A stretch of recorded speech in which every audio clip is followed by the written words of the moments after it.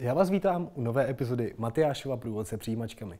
V této epizodě se podíváme na to, jak zvládnou přijímačky z matematiky. A to ty od Cermatu, protože kdo jiný by nám dělal přijímačky, že jo? V této epizodě si dáme pozor na to, jak správně opět vyplnit ty archy, protože to je důležitý a nechcete v tom udělat chybu. A dále se podíváme na jednotlivé chytáky, které Cermat rád používá a myslím si, že by se vám hodilo o nich vědět. A v neposlední řadě se podíváme na to, co Cermat rád používá za příklady, protože si myslím, že i to by se vám mohlo hodit. Tak pojďme na to! Pojďme se tedy podívat na to, jak správně vyplnit archy. Koho by to překvapilo, ale je to úplně stejně jako u češtiny. Máte jednotlivé obdelníčky a ty nesmíte přesáhnout. Zároveň, na co si dejte pozor, nevypisujte se s postupama. U Cermatu postupy nikoho nezajímají. Dostanete zvláštní papír, na který si to počítáte. Ale odpověď samozřejmě musíte mít zapsanou v záznamovém archu. A opět jdeme k uzavřeným otázkám.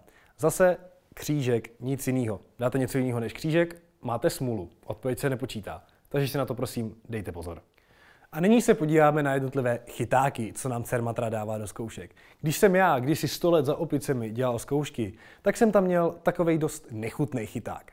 Myslíte si, že jako správná odpověď může být číslo, po případě x rovná něco? Tak to není. Já, když jsem tedy dělal ty zkoušky, tak jsem tam měl jako správnou odpověď rovnici. Takže na to bacha. A i když vám výsledek bude připadat sebedivnější, tak ho tam klidně napište, protože za špatnou odpověď nic nestratíte ani nic nezískáte. Takže si myslím, že to za ten risk stojí. A nyní se podíváme na příklady, které Cermat velice rád používá. Zaslechl jsem takovou frázi, kdo se nenaučí čarovat se zlomky, ten se do bradavic nedostane. A je to pravda. 90% nejčastěji opakovaných příkladů jsou právě zlomky, protože je nikdo nemá rád a téměř nikdo je neumí. Takže na ty si dávejte extrémní pozor a doporučuji, vřele doporučuji se je pořádně naučit.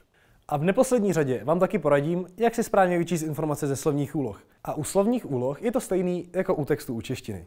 Vás nezajímá omáčka kolem, jestli Pepíček nesl jabka, vás zajímá, kolik nesl jablek. A na co se vás následně ptají.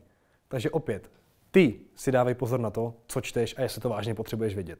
Právě jste dokoukali druhý díl Matyášova průvodce přijímačkami. Já doufám, že to by jsem pomohl, jak zvládnout přijímačky z matematiky a těším se právě na tebe v příštím díle, kde budeme řešit talentovky.